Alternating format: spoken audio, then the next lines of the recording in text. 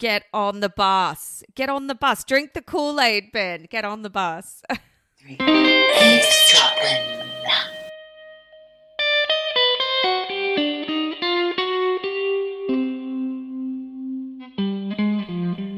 Hi, Michelle. Geordie, Geordie. Hello. How you diddling? I'm diddling Swedish style. I'm back in the land of Sweden. It's beautiful. I'm glad to hear it. Yeah. It is summer in the northern hemisphere, so uh, us eavesdropping ladies are enjoying a bit of sunshine. It's nice right now. It is sunny. Just hasn't been the glorious high 20s that we're used to in July. And there's your fucking weather report. Shut up. Yeah, I always get slammed for doing the fucking do. weather report, and you dive straight in. You know why? Because it is actually, we're about to go on summer holiday. That's why. We're all going on a Summer summer holiday. holiday. yes, that's right.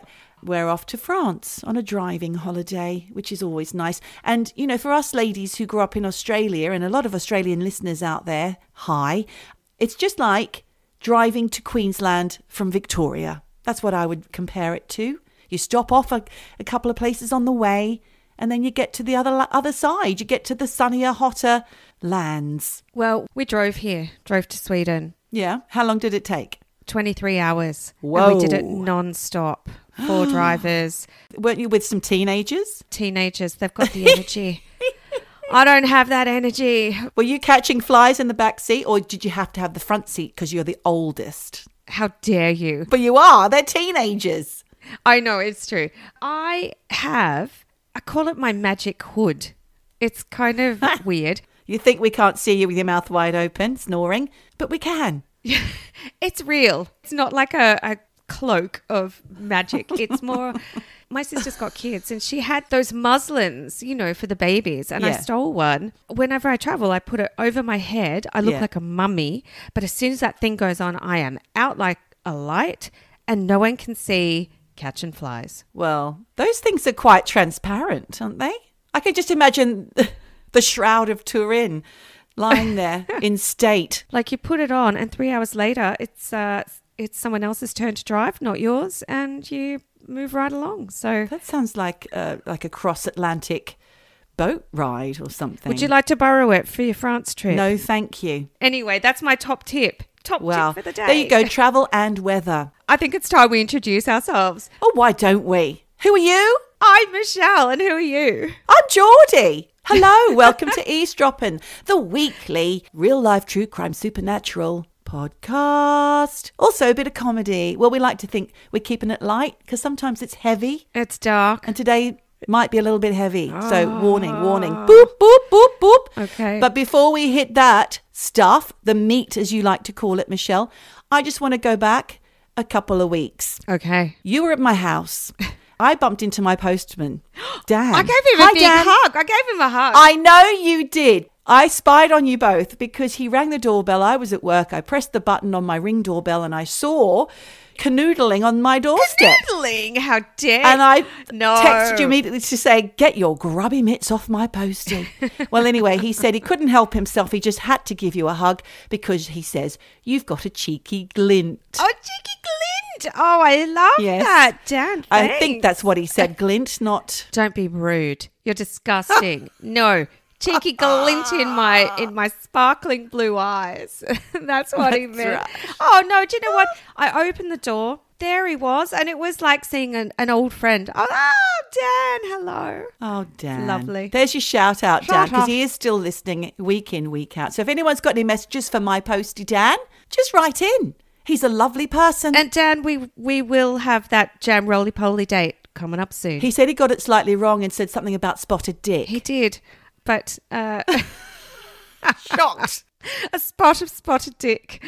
But no, Dan's lovely. I'm glad he's still listening. Thanks for hanging in there, Dan. And thanks to everyone else who's been voting. We really Yes. appreciate it. If you don't know what I'm talking about, Listener's Choice, British Podcast Awards, we're linking it up. Go and vote if you haven't already done it. We love you. Go to the website, British Podcast Awards. There's a page to vote for the listener's choice. You can go on our social media as well. Instagram is eavesdropping, no G, underscore. And it's not no G, you don't have to spell that out. It's just eavesdropping underscore. And then you can find all the links on our current social medias, uh, of which there should be plenty to view. Also, another listener on the Instagram did write in, I missed it, unfortunately, but now I've seen it. Shout out to Yasmin Element, who told us she had a dream about eavesdropping. No. We're in her dreams. We're the podcast of her dreams. Amazing. Uh, don't tell me, was it the end song? Eavesdropping? It's an earworm.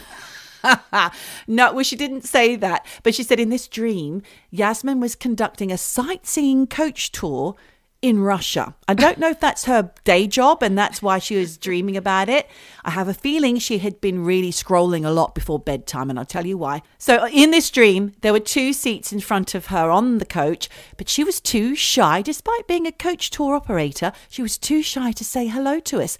But then Ben Mendelsohn got on and he sat right next to Yasmin. So she had to get her attention to say, Look at me! Can you believe this? I've got Ben Mendelsohn sitting next to me. And then we all got together. The brown lemonades were cracked open, and a good time was had by all. Selfies flying around, and lots of Russians doing things just like they would on the Look at This Russian Instagram page. So she must follow that, which I do oh. as well. It's quite fun. I'd just like to say, Yasmin, dreams can come true. You got our attention, but where the fuck is Ben? I think we need to be on that bus. We need to be on the Ben bus. I want Ben on a bus. Or Ben could be on our eavesdropping bus. Seriously, want Ben, Ben on a get with bus? the fucking program. Get on the bus. Get on the bus. Drink the Kool Aid, Ben. Get on the bus. Oh my God.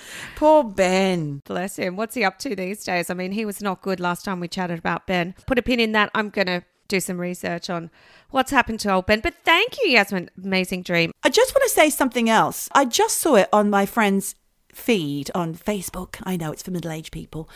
My friend Moira, we've spoken about her before. Yes. Uh, she's actually the reason why we did the Paul is Dead episode a few weeks ago because she had pointed it out to me after I, obviously, I'm going to say it again, bumped into Paul McCartney. You know, this is what happens when you live in London and you live a glamorous life like I do. she just posted there's a new film starring Simon Pegg and it is covering a very exciting to me story that we did cover quite some time ago. Jeff the Talking Mongoose. It's actually oh. about the man that was sent over to the Isle of Man to investigate Jeff the Talking Mongoose. Michelle will link up this episode in case you haven't heard it yet. It's a stonking story. I love it. Don't know whether or not we did it justice, but it's one of my faves, supernatural stories. What's his name? Nandor Fodor. We've spoken about him We more have. than once because he's popped up a few times in some of our supernatural stories. But there's a new film starring Simon Pegg as Nandor Fodor based on Jeff the Talking Mongoose. I cannot wait. I think we have to watch that together. I agree. That's a, a daiquiri and some sweet salty popcorn evening in front of. What you don't like that? I would say daiquiri and Doritos with guacamole or something Well, I'll take that too. would be more appropriate. Or even a margarita, not a daiquiri. Yeah, a margarita and something salty. What's wrong with the sweet salty popcorn? I don't like that. I fucking love that. You get the sweet Yeah. and you get the salty. It's heaven in a bag. In a bag. In a bag of popcorn I would have popped my popcorn from the kernels. from scratch. I do like to do things from scratch. Yes. I do too, We but. I don't know. They put some kind of MSG shit. I don't know what they put in, but it's addictive. something that you like. Love it. Yeah. Can I just segue away from popcorn for one moment, please, Michelle? Yes. Because I have breaking news. It's probably broken because obviously we are going on our holidays, so this is a couple of episodes in advance. But I had a message from our very own modern mystic Tamira, Ooh. who sent us something really crazy. You may or may not know about this. She said a large metal type canister was found in a beach called Jurien Bay in Greenhead, which is about 250 kilometres north of Perth in Australia, around the 17th of July 2023. Police are were, I don't know if they're still there, probably not two weeks later. Police were guarding the object and they say it's being treated as hazardous until they can determine what it is. Fuck. A local had found it in the water and pulled it to shore, and apparently it's all beaten up, big metal. It looks like a, a small silo or a large septic tank. Don't let the Americans get their hands on that Huh? because it's going to be alien reverse technology shit. Obviously. It may not be. It could also be, they're saying it could be an Indian space rocket or a piece from a space station that's fallen down. But everybody that was there, all the services, were all in hazmat suits. Holy fuck. Do you know what? That's probably more scary than that bit of film we watched where the cocaine dropped out of the sky for a movie called Cocaine Bear. Oh, Cocaine Bear. Fucking hell, what a ridiculous. We didn't watch that. We didn't. I didn't watch we it. saw it on Gogglebox. We didn't need to watch it. We saw enough. Oh. we saw enough of enough. it. Well, I had also some feedback. Not so much on the episode, but definitely Courtney and Kurt. It is controversial. People get really wound up about that. Really? Have you been having arguments with people in the street? Yes, I have, as always. I would say that 90% of the people I chatted to about the episode thought Courtney had something to do with Kurt's death. Right. It's really, really fascinating. And in fact, when I pressed one friend about why he thought that, he basically said she might not have pulled the trigger, but he thinks she was a psychological mastermind who fucked with his head so much that she kind of manipulated him into killing himself. What do you think of that? Well, I did read the Hirschberg interview after the episode because I was so interested after Michelle's expose, or, well, I wouldn't call it an expose. I felt like she definitely manipulated her way into his life and into becoming her husband. And she was quite open about that in the interview. But on listening to our episode and all of your information that you presented, it made me think, well, what use was he to her dead? He would have earned more money alive, and she would have benefited by being the mother of his child in some way. She has benefited from it, even though there was this, what do you call it, the prenup. I don't think she had anything to do with his death. And I do think that perhaps the suicide note was doctored, or maybe there was no suicide note in the beginning, and maybe it was put together. One thing that did occur to me did they plan it together? Did she know he was going to do it? And was it her one final thing that she did for him, which was to not stop him? It's possible, but they'd had the intervention just days before. And there's an American interview that she did with, is it Barbara Walters? Possibly. Directly after Kurt's Yeah. death. She's bizarre. It's like she's acting. And she says, I feel like I killed him because, you know, I'm, I was doing that tough love thing of, let's have the intervention. If you don't do this, we're all walking away from you. And she said, I shouldn't have done that. She said she feels some guilt. I mean, you know, she's a, a grieving widow who's also a junkie. So I don't know, that may have something to do with it. But there's also in the Nick Broomfield documentary that I slagged, Kurt and Courtney, there is an interview with the nanny, not Callie the nanny, the dude, but another nanny before who quit. And she just said, Listen, I was there in the months leading up to his suicide. And let me just tell you, from Courtney, there was a lot of will talk. Whittle? You need to make a will. Oh, will. What are you doing about the will? Who's going in the will? Come on, Kurt, you've got to make a will. Right. And she said she was terrified of Courtney. You can find whatever you want. You can find people saying she's Yeah. amazing. You can find people saying she's an evil monster. But it is a really polarizing subject. Well, I find her fascinating, and I think she was wild when she was younger. There's no doubt. I think Yeah. she's probably found a bit more peace in her, you know, her age that she's at now. And I always find her interesting. I'm fascinated by Courtney Love. I think she's uh, enigmatic. I enjoy her. I don't think she killed anyone. No, I enjoy controversial people, and she's definitely controversial with really strong opinions. The other thing, too, is she says that she thinks Marlon Brando is her grandfather. Oh, So her grandmother is this really amazing writer, actually, called Paula Fox. I can't say that with my braces. Fox. Paula Fox is this really fantastic writer. There's a book she's written called Desperate Characters, which is better than The Great Gatsby, but not nearly as celebrated. She was living with in a house with Stella Adler, who's his acting coach, and an unknown Marlon Brando was living in the house ah, at the time. She got pregnant, gave away her daughter, and then this woman, it's Courtney Love's mum. Then they traced back the lineage. And this woman, Paula Fox, met Courtney one time and just said, horrible, horrible woman. Could not stand her. Wow. Never had any contact. And actually, if you put early pictures before all the surgery of Courtney and Marlon, there are some similarities. wow. So- It's an interesting little fact. I know she's an interesting woman. Courtney Love, if you didn't listen to it, go back, have a listen. It's interesting. If I do say so myself. She made it awkward. She Made it awkward? awkward. She How did I make it awkward? Awkward, awkward. How dare She made you. it awkward. She made it awkward. She How are made you it drunk? awkward. How bloody awkward. Awkward. How bloody awkward. Well, this is oh, awkward. Oh, How bloody awkward.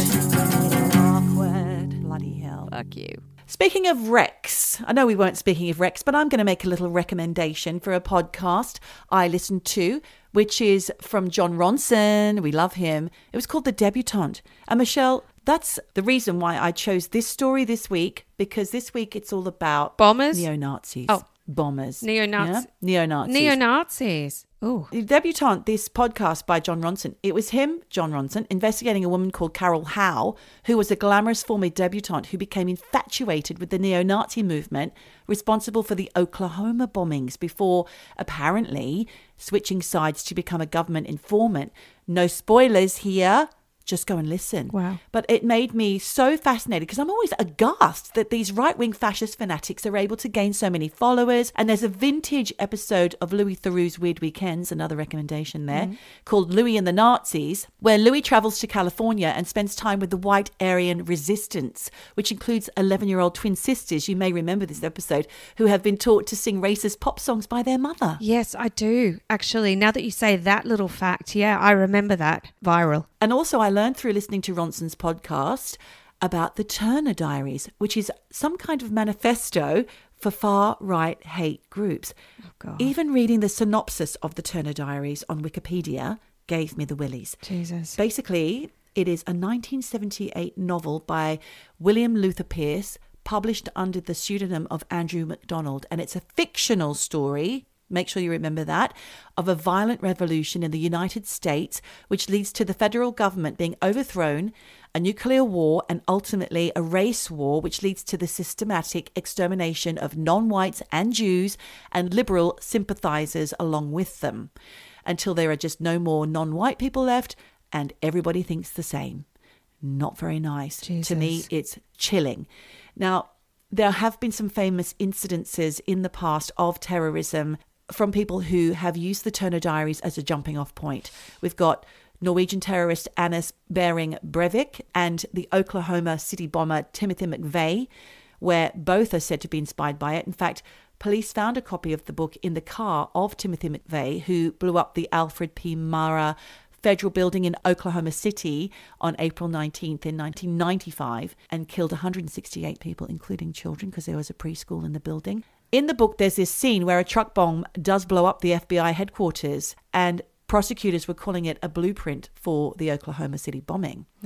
Timothy McVeigh also reportedly sold the Turner Diaries at gun shows. And then going back to the Norwegian terrorist Anders Behring Breivik, he murdered 77 young people and people generally in two terror attacks in Norway in July 22nd, 2011. And he had his own manifesto, but it drew heavily upon the Turner Diaries. Right. I've never heard of the Turner Diaries. Nor had I, and I'm quite happy to be in a bubble where it doesn't exist. Yeah. This book inspired more race hate groups that began to spring up, such as the Order, whose members were responsible for the murder of a Jewish radio host called Alan Berg. Now, I didn't even know anything about that. He was quite well known and he was mm. assassinated by this group. Somebody else influenced by the book was the London nail bomber, who was just 22 years old when he planned to start his own race war in London. His name is David Copeland. And I'm going to tell you the story because I lived in London, particularly, you weren't living here at the time, in uh, 1999. But Brixton and where I lived in Peckham and Camberwell, very close. I had friends who were actually there on the day this happened. So I'll tell you what happened. He orchestrated and carried out a series of bombs that caused terror over three successive weekends between the 17th and the 30th of April in 1999. He used homemade nail bombs that were detonated first in Brixton, like I said, in South London, then Brick Lane in East London, and then finally the Admiral Duncan pub in Soho in the West End, which was the deadliest of all three bombs. Shit. Do you remember hearing about it? Yeah, of course. When I bought my place in Brixton, people were like, You are crazy. Why do you want to live there? It's fucking terrifying. And I was like, Oh, it's in zone two. But it had a really, really bad reputation. And part of it was the nail bomber. That's just one of many things, yeah, that have happened in Brixton. But it was pretty big at the time. So each bomb contained up to 1,500 4 inch or 100 millimeter nails in gym bags or holdalls that were left in public spaces. The bomb killed three people eventually and injured 140 people in total, four of whom lost limbs. And there's a documentary on Netflix called The Nail Bomber Manhunt, which is where I got most of my information. Because I think it was left outside the Iceland. The first bomb, which was on the 17th of April, it mm-hmm. was in Brixton. It was found by two market traders on Electric Avenue, just in the market area. One of the guys was called Gary Schilling. He moved the bag to a less crowded area after seeing a man acting suspiciously around the bag. It was moved two more times, Michelle. Oh. They looked inside it, then they put it to one side, and then they called the police. They were like, shit, what's going on here? Meanwhile, a local crackhead, of which there are many in Brixton, as you'll know, being a former resident, ran through the market, took the bomb out of the bag, and ran off with the bag. What? I know. Oh my God. This information was new to me. The police did arrive at the scene just as the bomb detonated Oh, at 5:25 p.m. outside the Iceland supermarket, sending nails flying in every direction, Oh, blowing glass windows out. Parked cars were damaged.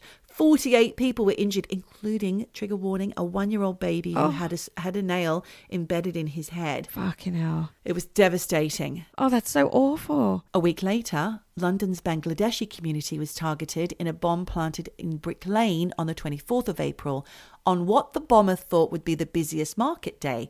But he got the days mixed up. It was Saturday where the bomb was planted instead of Sunday, which meant the streets were much quieter. Yeah, thank thankfully. God. Again, the, a bag containing the bomb had been discovered on Hanbury Street by a passerby who took it to the police station, only to find the police station was shut. So he put it in his boot of his car for safekeeping while he phoned the police.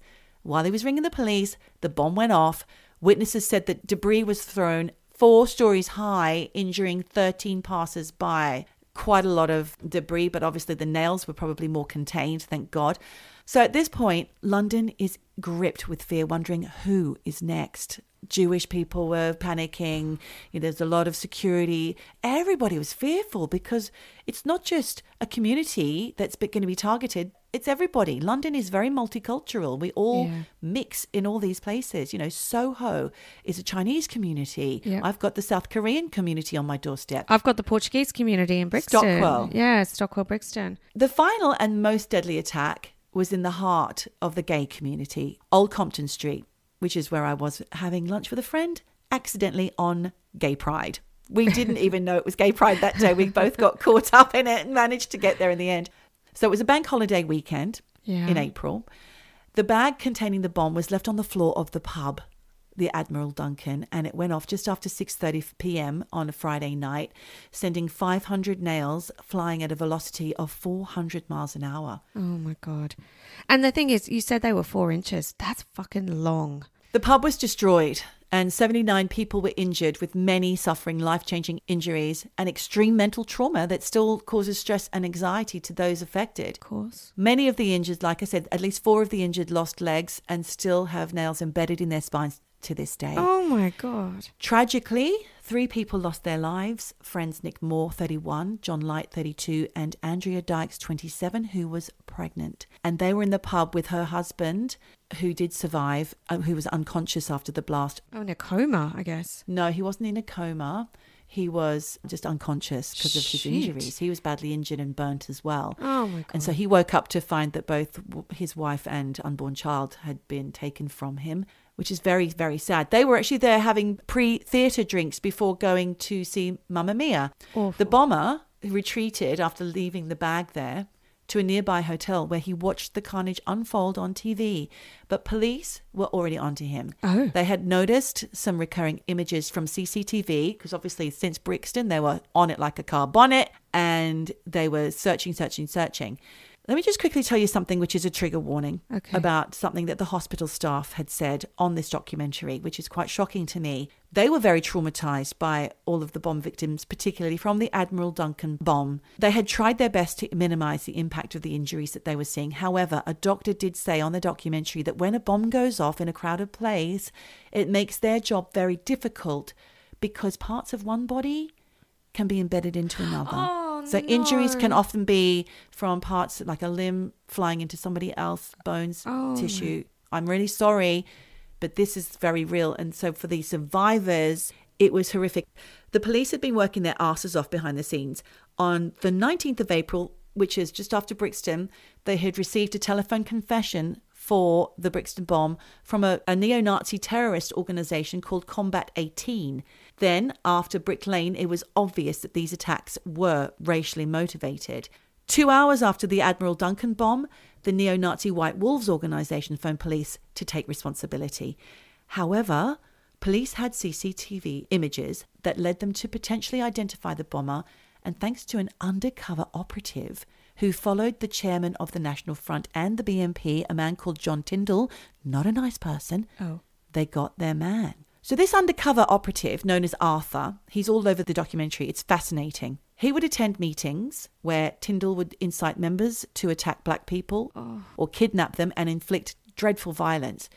This is verified by an ex member named Bernard O'Mahoney, who is also an incredible character. Right. He admitted on the documentary that while he was involved in the NF, National Front, he did some really shit, really bad things, and that on the whole, they were all Holocaust deniers.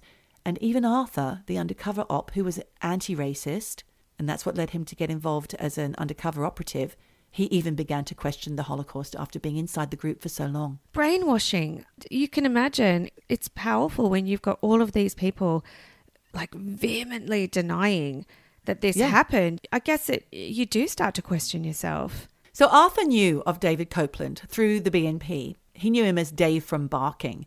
and he recognized the, the CCTV images, so he informed his handlers and they got in touch with police. Also, at the same time, a colleague of Copeland's who worked with him as an engineer on the underground recognized him from the footage and alerted the police about an hour and 20 minutes before the third bomb went off at the Admiral Duncan. Oh shit, not soon enough. Sadly not. On the 2nd of May 1999, the Metropolitan Police anti terrorist team arrested and charged 22 year old David Copeland with murder. They were met with Copeland, who confessed immediately, saying, Yep, they were all down to me. I did them on my own. He showed them into his bedroom where there were two Nazi flags hanging on the wall, along with a collection of photographs and newspaper stories about the bombings. It's a fame He fame wanted game. to be famous. Yeah. Yep. So Copeland was a neo Nazi and a former member of the BNP, and he had a deep hatred for the gay community as well as other non white groups.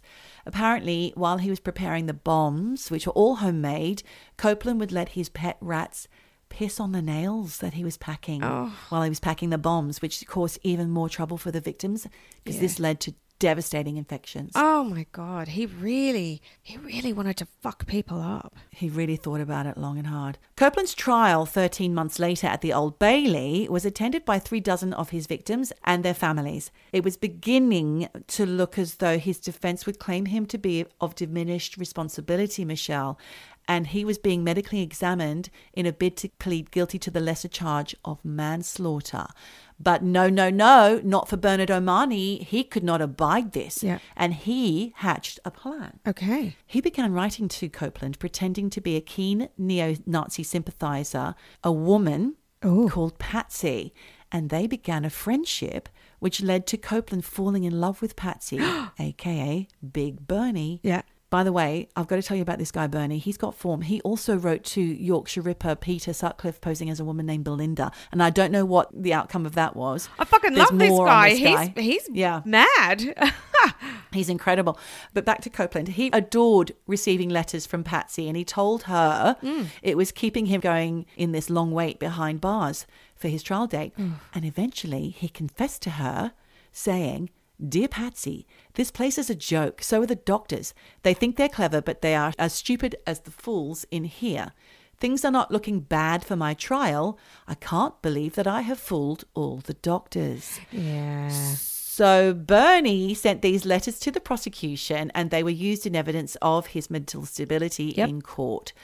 Good. Copeland, up until this point, had been unemotional Oh. about all of I mean, even you know, killing a pregnant woman. He just didn't care until Patsy's betrayal was revealed to him, and the manslaughter pleas were rejected, and he was then convicted of murder in 2000 and given six life sentences. Holy shit. You know, you hear this a lot of murderers who are just completely devoid of any emotion. I'm going to flip back quickly to Bernie O'Mahoney, who's an incredible character. Like I said, his experiences of Copeland are documented in his 2005 book called Hate Land.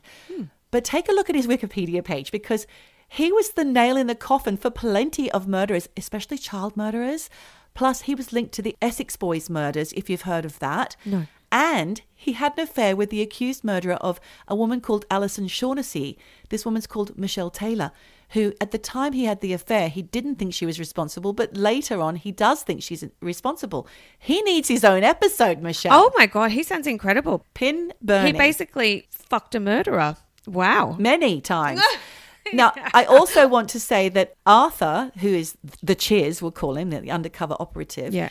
He still needs to live his life anonymously undercover and was oh. not interested in the reward for assisting with the capture of the London nail bomber, which was an incredibly large amount of money. Now, he's had at least 10 years inside the British National Party, BNP, and he's put up with being attacked physically by anti fascists, of which he used to be one. Yeah. But he is just happy enough with the fact that he identified Copeland and has thwarted several attempts for the BNP to get into Parliament here in the United Kingdom. Oh shit. But what's he sacrificed? You know, there's a Guardian article from May 2021 where he spoke of the contemporary threat from the extreme right.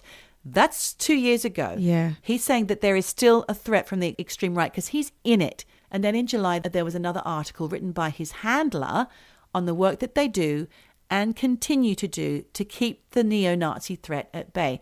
And when I say neo Nazi threat, I mean threat. It's not a good place to be. These people have to sacrifice their lives Yep. in order to keep the rest of us in a fair, just society, it's crazy, isn't it? devoid of hate. I know. Why hate? Guys, let's love. But you know, I feel like the UK has a long history of this, and I can't really even pinpoint or talk accurately about why. You know, when you look at everything from the neo Nazi hate groups who were involved with all of the soccer riots, the football riots, it all seems like the far right. the black shirts, the Mosley. There is a lot that did originate in this country, but nowadays we do pride ourselves. You know, Great Britain prides itself on being one of the most uh, liberal and multicultural nations on the globe. Yes. And I do think we've come an awfully long way if you compare it to countries like America. Yeah. You know, I'm currently in Sweden where it's probably the most inclusive, tolerant, PC. Uh, You have to be politically correct here. You can't be like me and not be woke, you know. and also in Norway, but then look, they had Anders Behring Breivik go mad. So there's always going to be a faction of people who who feel this way. Currently in Sweden, if I'm correct, there's a right wing government which had early neo Nazi leanings. Sure. Uh, Like it's all mixed up. All you need is love, Michelle. The Beatles knew it. Wow, that's fucking fascinating. I knew about the nail bombs in Brixton, didn't know too much more than every time I went to Iceland, I'd be like, and that's where the nail bomb was. Didn't know a crackhead ran off with a bag. Thanks for all the laughs, Geordie. All the laughs. Pleasure.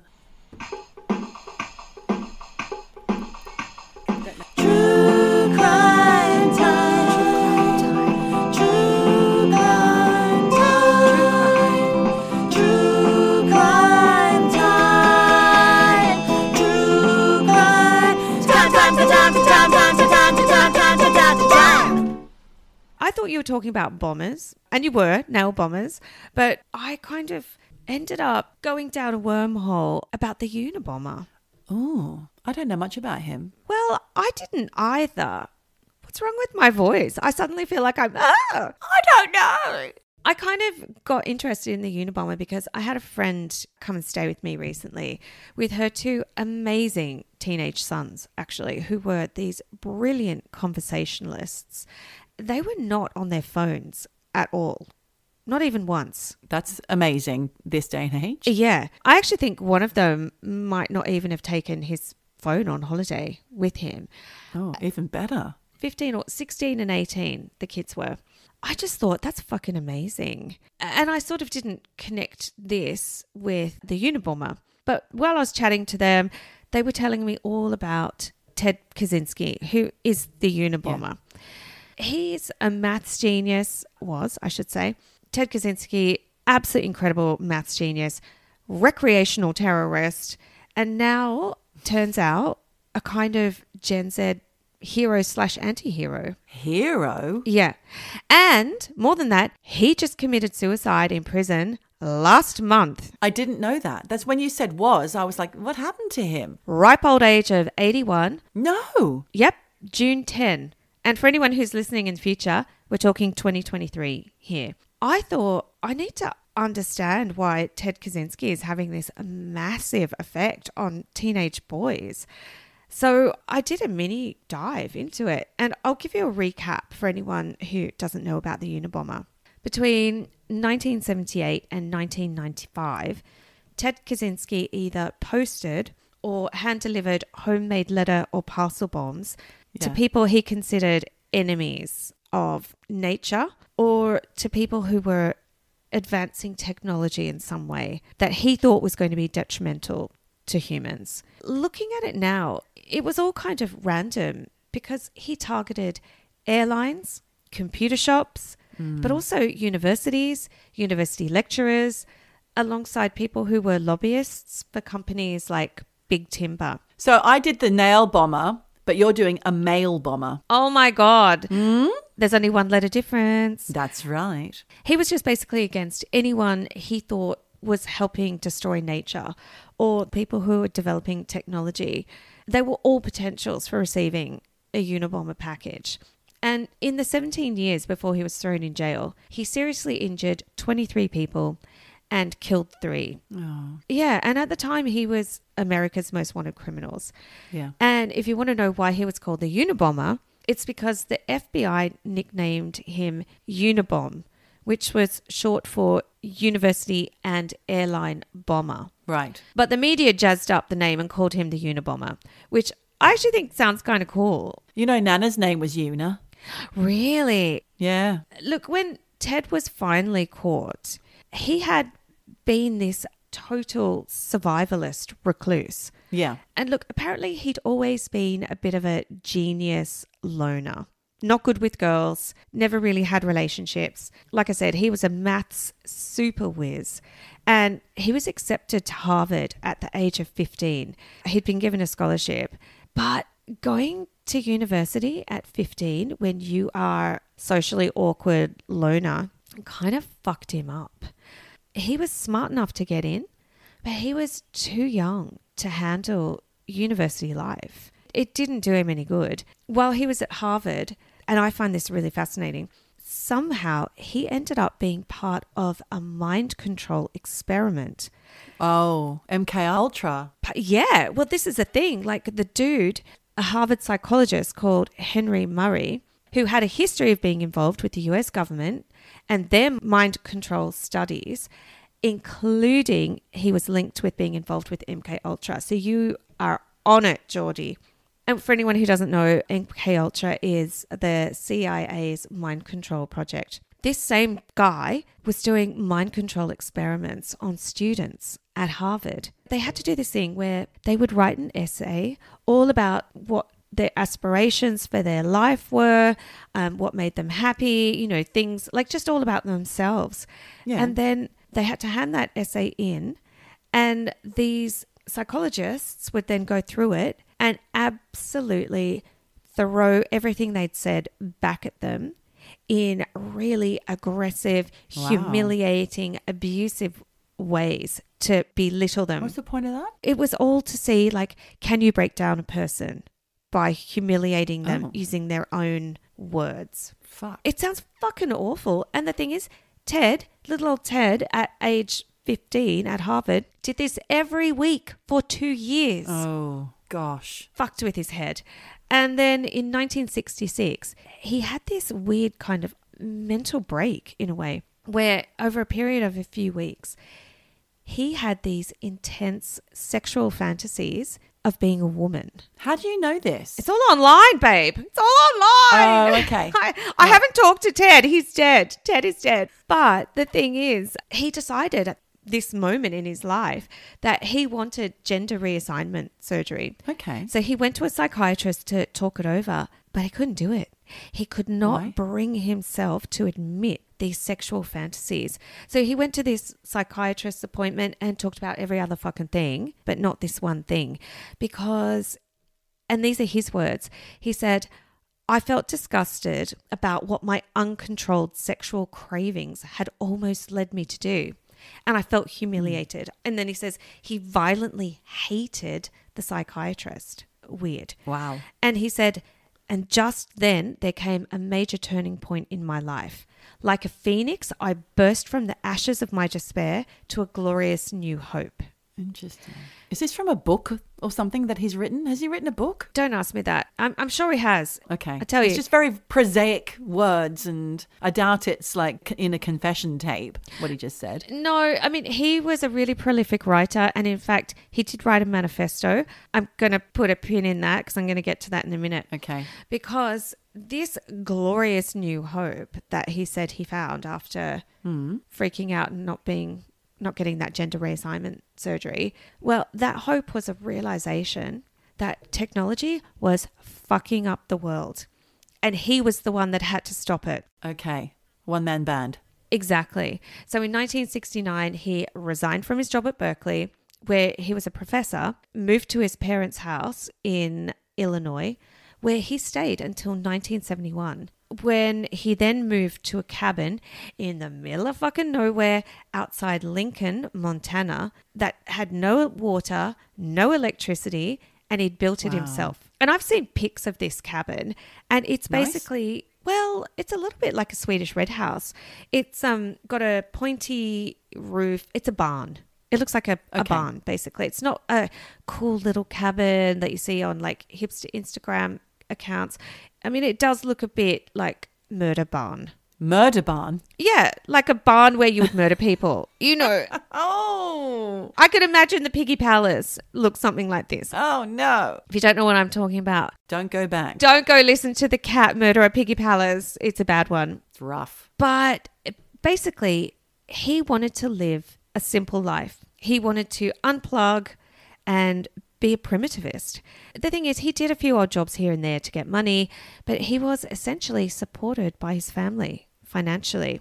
Right. Even though he had wanted to be self sufficient and a primitivist, even he, unplugging from society, had to go out and, you know, get a bit of money here and there. Yeah. But the thing is, he kept seeing nature being destroyed by capitalism and technology and greed. Things like he'd spend days walking to his like favorite hiking spot where there was, you know, cliffs and beautiful ravines and incredible nature, only to find a road had been put through it. Oh. And after one particularly upsetting experience of this happening, he'd had enough. He just was at the end of his tether. And these are his words.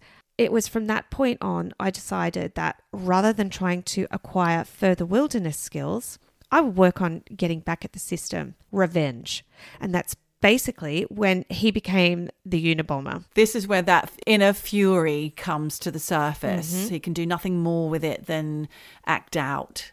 That's when he was sending all the bombs to people he thought were fucking up, you know, nature or providing technology that was going to ruin lives. But in fact, he was just sending it to regular people living their lives, doing a job, and their secretaries and, you know, the other people in the offices, causing them death and injury. Yeah. Yeah, there were secretaries who, you know, were completely disfigured opening up packages. You know, it's really horrific. Yeah. In 1995, Ted wrote to the New York Times saying he would stop sending any more packages and trying to kill people if one of the big newspapers published his anti modern, anti tech manifesto called Industrial Society and Its Future. And Janet Reno, who was the US Attorney General at the time, thought it was a brilliant idea to publish his paper if it meant he'd stop sending all of these nail bombs.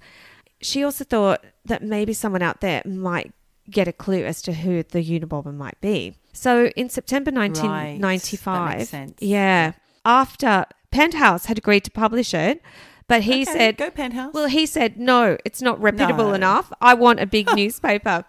Not good enough. Yeah, the Washington Post stepped up and printed all 35,000 words of his manifesto as a special supplement. And it was a fucking smash hit. People could not get enough of what he was saying. I believe the paper had to actually reprint it. Thing is, it was Ted's brother and Ted's brother's wife who read it and went, that's Ted. That's Ted. They were like, that's Ted's ideologies. They're Ted's. I'm writing this from my little murder house in the middle of blah blah blah. Exactly. And they were like, fucking hell, we need to tell the FBI. We think it's my brother. They went to the FBI, and on this tip off, on April 3, 1996, the police raided Ted's cabin and arrested him after they went through it and found all the bomb making gear. And in June that year, a federal grand jury indicted Ted on 10 counts of illegally transporting, mailing, using bombs, and he was given eight life sentences without the possibility of any parole. And he was sent to this um, supermax prison, the maximum. They call it a supermax Can't be nice. in Colorado. But look, circling back to Ted Kaczynski, the ideologist, I think the reason a lot of Gen Zs even know about him, let alone identify with his anti tech manifesto, is because they are able to separate Ted Kaczynski, the serial bomber, from Ted Kaczynski, the kind of eco intellectual who wanted to warn us all about the terror of technological advancement. Well, I'm with him as well. I kind of feel that way too. But the hmm. problem with Ted was that he had this uncontrollable rage and he Yeah. didn't know how to channel it. And that could have been due to what happened to him at 15 when he was in the university. Yeah. But I also just think he was, you know, just one of those loner guys. I think he had social Anxiety. Yeah and and issues with connecting with people. Look, you know, he may even have been spectrumy. He's had a lot of exposure recently. Let's call it neurodivergent. Sorry, neurodivergent. I, I don't know all the woke terms. Sorry about that. God, people, sorry. Netflix is all over him. Um, Yeah. There was a four part documentary on him. There was a dramatized for TV series. I saw with Paul Bettany, very handsome, playing Ted. I only watched about one or two episodes of that. on Manhunt or what was that? Yeah, Manhunt. Yeah, yeah, exactly. Because they, they looked into sort of more the investigation into the Unabomber. Well, hang on. What was the one I saw with Paul Bettany playing the Unabomber? I don't know. I'll find out and, and let you know. Because I didn't watch them. Honestly, like, it would have been hours of my life if I watched all these things. There's also another one called Ted K, which is like a movie length biopic. Actually, set in Montana near the cabin where Ted really lived. Right. And apparently, that cabin has been moved and put into some kind of museum. Like, people What? fucking love him. Yeah, really. You know, it's funny because when you started talking about it, and then as you discussed the gender uh, reassignment that he didn't get, that's when I thought, oh, this is going to be the link. This is going to be why he's the hero stroke anti hero. I didn't mm. realize it was going to be about the technology. But yes, of course, that's pressing, especially with AI on our doorsteps and other things, you know, fossil fuel burning and whatnot. Exactly. And the thing is, what he's saying is so prosaic in terms of what we now know that people identify with everything he's saying. They're all like, Ted was right. Ted Kaczynski was right. He might have been a fucking nail bombing serial murderer, but he's fucking right. But in, in order to make the t shirts, you'd have to kind of separate the nail bomber from the anti technology campaigner. And that might be difficult to have the Ted was right t shirts made. Well, the thing is, there are lots of people who are really pro Ted. Like, there's a right wing news, uh, I think it's Fox News actually, uh, host called Tucker Carlson, who basically said Ted's manifesto was a smart analysis of systems and large organizations. And there's an Arizona state candidate called Blake Masters who recommends Ted's manifesto Well, this is my next question. What's happened to Ted's manifesto? Is it still being used Absolutely. As a, jumping off point of Yep, it's out there. how to how to manage this new technological phase that we're in? And these Gen Zs are, are reading it, you know, and really gleaning a lot from it. And the opening line, actually, of the manifesto reads The Industrial Revolution and its consequences Mm. have been a disaster for the human race. So, anyone who is looking at the fucking disaster we're in now with climate change and everything else, like you say, AI, technology, he's saying point zero, where everything went wrong, was the Industrial Revolution. It's kind of, at, the time, pretty shocking stuff. Like when he put that manifesto out. Now I think it's pretty bog standard Mm. Yeah. dinner party Wow. chit chat. You know, Go people Ted. are all always talking about that stuff. Not not go Ted. No, but like even you know Greta Thunberg, Boris Johnson, they're all in a roundabout way saying the same things. Boris Johnson. Yeah, because he, I believe, had said things about technology and that kind of stuff. No, I don't know. I'm just trying to think why he would, and I, uh, my mind immediately was like, how can he monetize this? He wants to regulate. Fair enough. We do need to regulate, but what's the? I I went immediately to thinking, what's his angle? Unlike Greta, who just wants to. he's. I mean, that's true. Greta really believes that Boris Johnson. He was a puppet. no, he's just a newspaper columnist. Let's just focus on Greta Thunberg. Oh, another thing that Ted was crazy about was the world's obsession with economic growth. And he's right. You're like, everything is about growth strategies. And he said that by having strategies of economic growth, we are, and these are his words, piling up environmental problems that our grandchildren will have to live with. He'd been mulling over all of these thoughts since he went fucking primitive in 1971. So he could see the writing on the wall. And he also said essentially that industrialization has brought about a population explosion Yes. that has done untold damage to nature and will take a very long time for the scars to heal. And that we have to turn economic growth and I think population growth into economic and population shrinkage if we're going to survive. And what he wrote about in 95 is so zeitgeisty today. This idea that technological progress is going to pose also actually an existential threat to the human race by turning people into, and these are his words, engineered products and cogs in the social machine, where people would basically just become tech zombies that we don't question anything, but we are just passive cheerleaders, despite the fact that we know they're bad for us. We know they're bad for our society and we know Yeah. they're bad for the environment.